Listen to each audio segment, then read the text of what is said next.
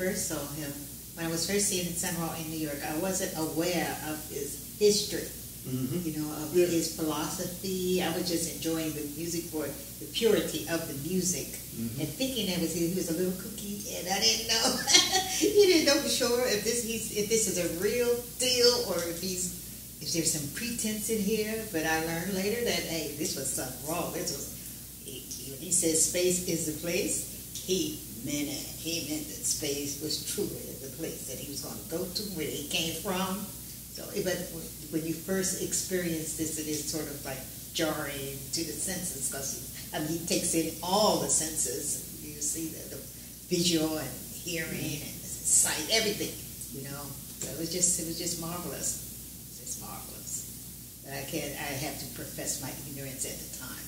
I did not know the history, and I am still learning the history of Sun Ra. Well, that, that, that's, you know, very true. I'm sure, you know, uh, when you first encountered him as a pianist, you probably encountered Sonny Blount. Yes, that would be true. Yes. That is absolutely true. 1946, absolutely. Yeah, you know, so, you know, the, the evolution, you know, was always yes, forward, you know, moving ahead, you know, uh, in some far off place in space. I'll wait for you. you know, and I mean, that's Sonny, you know, in talking to the people, you know, and I believe that, um, you know, we're still trying to catch up. That's right. You know, that's why it's such a blessing that, you know, somebody like Marshall, who's been on the scene, Wonderful. you know, with Sun Ra Yeah, since the fifties. Right, 53, yes. Yeah, you know, that's amazing. you know, that he's carrying the Like a torch and holding it strong, you know.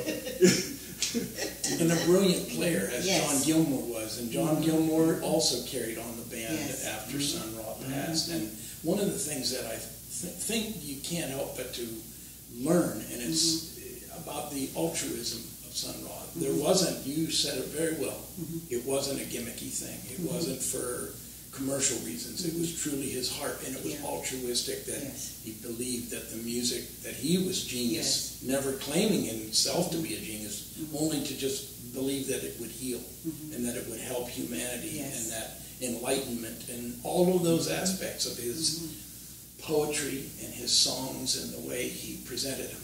It's beautiful. And you had mentioned vaudeville, and that is one of the beautiful notes that Robert Campbell uh, develops in this large group of papers, and he devotes a lot of time to Sun Ra. And um, he said that it, black vaudeville was a huge thing, but nowhere probably had it gained as much importance as in Chicago, ironically, where he had moved to.